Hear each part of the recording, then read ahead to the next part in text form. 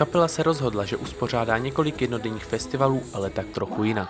Zábava tu byla určena pro celé rodiny.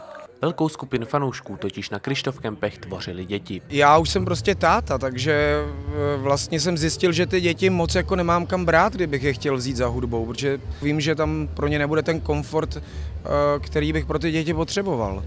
Jestli to má být rodinný festival, tak v podstatě e, s těma dětma musíte počítat jako s regulérním návštěvníkem, a tak se o něho musíte postarat. A právě pro děti tady členové kapely v čele s Richardem Krajčem vytvořili pohodovou atmosféru plnou her a soutěží.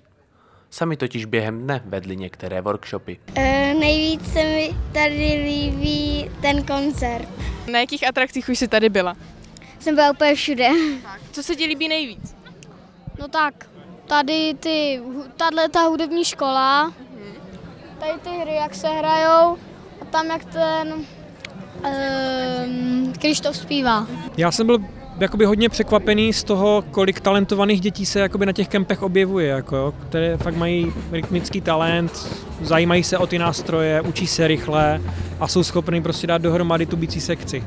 S Vojšickým amfiteátrem pak zněly jak poprokové, tak i folkové písně. Píte vodu, píte vodu a píte vodu a nepíte Poslední Krištofkem proběhne 30. srpna v Plzni. Pro zprávičky Alžběta Šplíchalová a Pavel Vrba z Vojšice.